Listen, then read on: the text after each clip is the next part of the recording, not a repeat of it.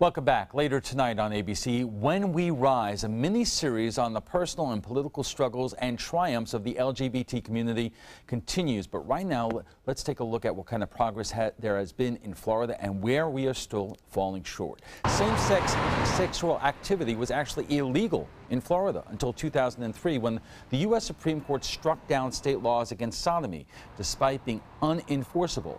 Florida's law against sodomy still has not been repealed. Same-sex marriage became legal in Florida in January of 2015, but despite that change, on only nine counties, 30 cities, and one town in the state offered domestic partnership benefits. In July 2015, the law banning adoption by gay couples was repealed. Florida's hate crime law covers attacks based on sexual orientation, but not on gender identity. And locally, there is still a fight over whether students can use the bathroom of the gender they identify with. So where do we go from here? Joining us for more on the local fight for equality is Ken Shelin, chair of Equality Florida, Molly Swift, program coordinator for Also Youth, and Nathan Bruemmer, a member of the Trans Action Florida's advisory board. Welcome to you all. But Ken, I want to start with you because um, as I said at the outset, 20 years ago, many, most people could not even imagine uh, same-sex marriage being the law of the land.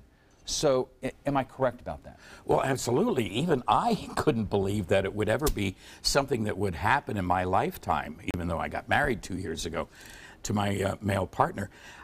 It was what we were really concerned about at the time was equal rights. All we wanted to do was to be treated fairly.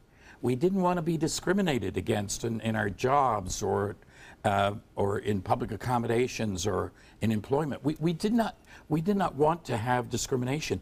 Um, and so we used the, um, the African American civil rights movement as a kind of inspiration and jumping off point. And we made enormous progress, I think, because as I said on the tape you showed earlier, we came out. We told people, you can't see that I'm gay. You have to hear me say it. You, I have to tell you that I am. And that's why we were able to hide for so long. It was a terrible burden to have to hide for so long. So the progress actually outstripped my expectations, and I think the, the civil rights movements for LGBT people as well. It happened so fast. The, the public was ahead of us. The interesting thing is, it's a done deal, but maybe not. Uh, because as I pointed out before the broadcast, there is a case going on at the Texas Supreme Court where the I'll say it, the, the Republican governor and lieutenant governor of Texas has pressured the court in taking a case that gets to whether or not uh, domestic benefits um, sh should be given uh, in, in, all cases. And it is the hope uh, of uh, conservative activists that it, this case makes its way all the way up to the U.S. Supreme Court and gives that court uh, an opportunity to revisit the, the basic issue. Well, it sounds unconstitutional on its face because what you're saying is that a class of people should be treated differently than other groups of people, and that's simply unfair and unconstitutional. It's unequal treatment. So I can't imagine that that kind of case would get very far and get a favorable decision. Right.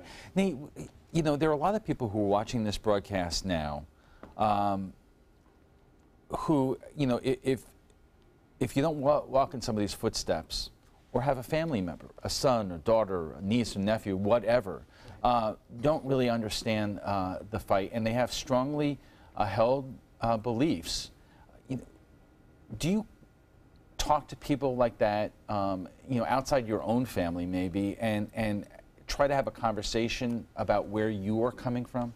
I do. I think that's where a lot of progress has been made. 20 years ago and, and today, in, until it becomes personal, until there's a connection either in my family, at my job, in my neighborhood, to understand that LGBT Americans are in every aspect of life. Um, and in Florida specifically, following um, the tragedy at Pulse, um, I, I, think there's been a real um, resurgence in understanding why the fight for equality has to continue and has to continue um, across. Let me just get your impression. What yep. do you think of, of, some people who are in the public eye? I'm thinking about former Vice President Dick Cheney, who yep. became a supporter of same-sex marriage, right. but his daughter is, is lesbian. Yep. There's another U.S. senator who also, same thing. They, they switched over when it affected them. Yeah, I, I think, again, I think it goes back to it needs to become personal until people have that connection. And that's where we see a lot of progress in Florida across the aisle. Once folks have somebody in their family that they can understand the struggles that they've faced, um, they just, they're not on board. And, and Molly, I, we have less than a minute left, but I wanted to give you a shot here. Uh, how many young people are involved in your organization that they're just starting to deal with the, these issues in, in, in terms of how they're going to live their life? Oh, well, they're, they're all at different stages. And I would say we have maybe about uh, 100 kids on our roster. These are kids that come to our drop-in center at Also? Youth. Um, well, traditionally 13 to 21, but we're starting to see kids as young as 11. We're getting parents to call saying that their child is 10 or 9. And so now we're saying 21 and under. Okay. We are just getting started with this conversation on LGBT rights. It continues right after we check our weather, so stay with us. Welcome back. If you're just joining us, we are discussing the fight for equal rights in the local lesbian, gay, bisexual, and transgender community. Our guests tonight are Ken Shelin, Chair of Equality Florida, Molly Swift of Also Youth, and Nathan Bruemmer of Trans Action Florida. The issue that has been in the news most for the last year has been uh, transgender bathrooms, especially in the schools. We all know what President Obama did um, in, in May of last year and last spring in terms of uh, directing uh, states across the, the, the country to uh, allow transgender youth to go to the bathrooms in which of the sex that they identify with. It has been an issue right here in Sarasota County uh, with uh, a student uh, from uh, a local school, Pineview School. Um, but the county Board of Education has not taken a position in terms of a district-wide policy you know, Nate, I'll, I'll start with you. Sure. Um, what would you say to members of the school board and people who are watching this who do not want a policy and position taken? Well, so as a former public school student and a former teacher in public schools and as a parent. A actually, why don't you explain that? You were a teacher in the Hillsborough County. Public Schools. I was a teacher in Hillsborough County. Um, off and on between uh, 99 and 2009, I taught uh, primarily seventh grade science. Um, but I taught uh, before I transitioned because um, I, I, had to leave my position. It was clear to me that I couldn't stay teaching and transition, and so I, I left um, my teaching position. But while teaching, this was before we really had active GSAs on most of the campuses, gay straight alliances, um, and safe spaces for the youth um, to meet and to be. Um, what I would say to those school board members first and foremost the classroom is for instructional purposes. It is not a place where children should be scared uh, or where they should be bullied. There are people who have, again, um, closely held beliefs that you should use the bathroom of the sex that you were born with, that parts are parts, and they use the the description that you know if, if you have a, a, daughter you do not want somebody who has male anatomical parts going into their bathroom. When when you are confronted with that kind of opinion how do you respond? Well it, it tells me some education needs to happen. Uh, if the focus is on that then they're misunderstanding the issue. And i would need to take them back to understanding the primary purpose of education. And we see the most vulnerable students in our schools not able to get an education because of that fear of their safety. And, and that's the most important thing.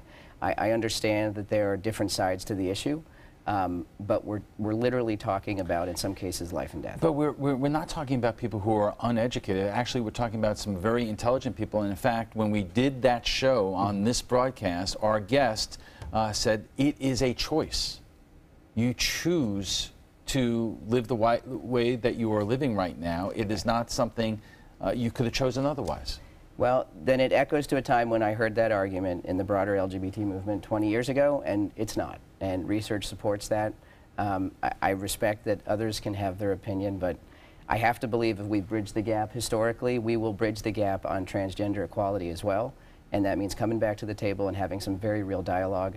Folks are doing that. So when we see the guidance pulled back by President Trump, for example, last week, there are school districts not Sarasota, but other school districts across the state that are realizing the importance of protecting their transgender students and are taking those steps forward. Molly, let me ask you this because you got into this because of your study. Um, how did that come to be? And now that you are involved with also youth, what are you seeing in terms of, of the young people who come into the organization or, and are dealing with this very issue? Sure. Well, I'm from Middle Georgia originally, as we were talking earlier, and I chose to go to New College of Florida uh, based on that was the second most LGBT friendly college in the country at the time. Um, it was an issue very close to my heart. I was not able to live out and open where, where I lived. I didn't feel comfortable. And so it was a whole new awakening for me, er, you know, 2008, 2012.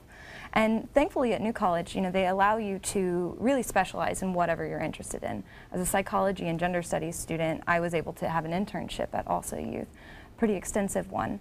And so slowly over time, I remained involved and, and ultimately was employed. Now I'm finishing my Master's of Social Work at USF Sarasota, and I've been able to continue specializing um, my, my work in this way. So, how many young people are you dealing with right now? And and I know that if, if whether you're you're gay, bisexual, or transgender, there are a whole boatload of issues that you're trying to work your way through. But but the issue of the uh, of, of bathrooms is, is something that's in the news, and uh, it's something that a lot of the young people that you're dealing with are also dealing with. And how are they dealing with it? Mm, mm. Well you know, on one hand, sometimes we see the bathroom, the bathroom debate as, as almost a red herring, as, as something to distract us from more nefarious, more, you know, scare, like even more, I don't know, life or death situations. However, it, it is very, very real to the youth that I'm working with. I know many youth, in fact, I was recently running the numbers, I think about 40 to 45 percent of our youth at Also Youth are, are identifying as trans. Many of them are having difficulty, not just with the bathrooms, but with locker rooms and just ultimately being referred to in respectful ways. You know, there, there was a story out of Texas uh, mm. just in the last couple of weeks about, and I, hopefully I have this correct. It was uh, a young woman who is transitioning to male, who is mm -hmm. taking testosterone, but mm -hmm. because of Texas law, wants to compete athletically in wrestling, and the law requires. She won the state championship. Right. And it, and it, it raises he. a difficult issue. He. He won the state championship. Right, but it raises a difficult issue. In the women's division. Be right. Because he is taking testosterone, and it seems like it's unfair competition against uh, young women who are, are, are not Absolutely. taking a, a, a, a drug that, if it was professional athletics, is banned. And doesn't that make the point? There is a major difference as, uh, as a person transitions from one sex to the other. And so we, we traditionally separate the sexes in many ways, you know, in, especially in sports. And it's unfair for somebody who's taking testosterone or, is, or who's a male to compete with females because we know that they have greater body strength and, and they're likely to overwhelm them. So it's, it's a matter of fairness. But to get back to your question earlier, Alan, about how do we get past this opposition? How do we deal with the school board and, and, and the community? Nate is right. It's education. And in fact, that's what we at Equality Florida have done. We have created a program called Safe Schools that focuses on LGBT, but especially trans issues. And we have offered that to a, a number of schools, uh, school districts around the state, including Sarasota County. We offered that to them over a year ago, and they have been silent about it. I've talked individually with school board members. I know that a majority of them support um, taking care of this issue, but they haven't done it yet. And, and, we have less than a minute left. But I wonder if, if this makes any of you angry that people don't completely understand the issue unless uh, either you're involved with it or have a, a loved one who is. Of course, I am incredibly emotional about this. And, and, there was a board member that I spoke to several years ago who, when I said, you know, our policies don't protect these students, she responded, well, has there, has there been a problem? Has there been an incident? There needs to be a problem or an incident before we start looking at the policies. Okay. Let's take a quick break, but when we return, we'll have final thoughts from our guests, plus what some of our viewers are saying about last night's topic, the ruling on the Docs versus Glocks case. Welcome back. In just the last decade alone, we have seen huge strides in the rights of gays and lesbian individuals, but the struggle for the trans community is still being fought today. Our guests join us right now for final thoughts. And Ken, I will start with you. Uh, what still needs to be done? we just need to treat each other fairly. That's all I want out of this fight. I just wanted to be want to be treated like everybody else, whether it's in my home, whether it's in a hotel, whether it's in my job, whether I'm shopping at a shopping mall, driving my car down the street. I want to be just like everybody else. That's all I want, and I will be happy but I don't want to be discriminated against. And thank God we live in this country where the Constitution says everybody has to be treated the same way. Molly, the, the obstacles and the challenges for uh, young people today is obviously a lot different than when Ken was, wa- was younger. Um, in many ways, I would imagine it's easier, but in what ways is it not? Well, I would say that youth are coming out at younger and younger ages. They do have the vocabulary to describe their experiences, but that might put them more risk, at risk, especially when they're going to a public school.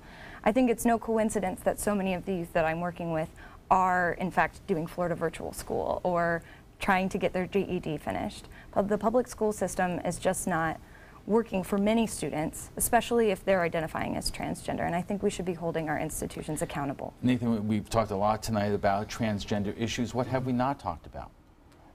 Wow, there, there are a lot. Um, In 45 seconds. In the LGBT movement, unfortunately, um, the transgender community is one that um, at times was left behind, but is now at the forefront, and it needs to be. Um, I would say, sort of borrowing on some of the words from President Trump last night, if he's making sure to not break any promises that were made against Americans, then I would also argue we need to not break the promises to all LGBT Americans, especially transgender Americans. This country is based on equality, and we have not seen equality for LGBT Americans. Uh, even with marriage equality, we're still facing discrimination in housing and employment, um, in public accommodations, and we're seeing real uh, safety and, and fear concerns, and that has to stop. All right, thank you all very much, and thanks for joining us tonight.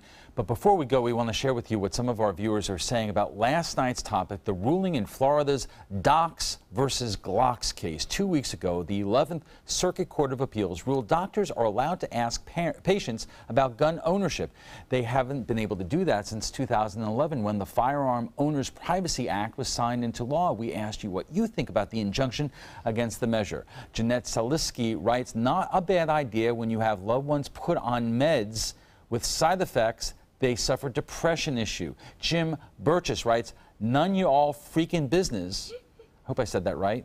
That will be my nice answer if ever asked. And Eric Swatek writes, it's about child safety, not ju- about judging you about having guns. Stop being so paranoid. Signed, a sensible gun owner. Are you part of the LGBT community here on the Suncoast? What have your experiences been like? Let us know by visiting our Facebook page at facebook.com slash news at 7. And FYI, want to watch past roundtable discussions? They're available on Apple TV, Amazon Fire, and Roku. Thanks to our guests for being here tonight. Ken Shelin is the chair of Equality Florida. Molly Swift is program coordinator for Also Youth in Sarasota. And Nathan Bruemmer is a member of Transaction Florida's advisory board.